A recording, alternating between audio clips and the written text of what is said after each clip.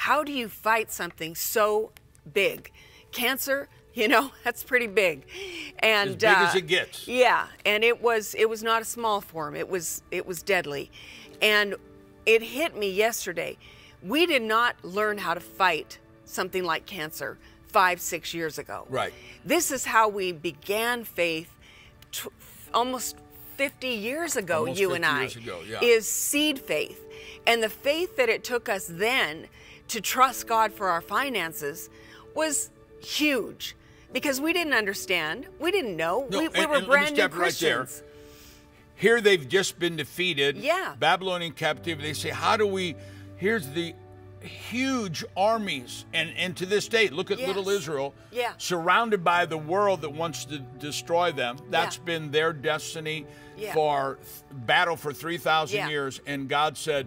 Trust me with your Trust me with finances, your finances." and it will build your faith. It is so powerful of a It's a concept. powerful revelation. It really is God's way from the very beginning of time to set up his plan of provision for us. Why? Because if we were not uh, needing God to move for us, then when things would happen, we'd never know it was God. Exactly, exactly. And so, number one, he sets it up so that we establish in our lives that God is number one Right. above anything, above provision, above uh, resources, above whatever's going on in the world.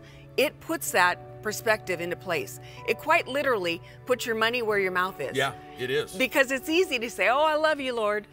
But we throw a buck or two in the plate here and there, maybe. yeah. And it, it really establishes our relationship with God. And what does that do? That opens the windows of heaven and it opens his conduit of blessing into our lives. And the thing about giving on a regular basis is it's you don't just get little sprinkles of miracles here and there. You develop this system with God of producing giant faith and trusting God and seeing his miracles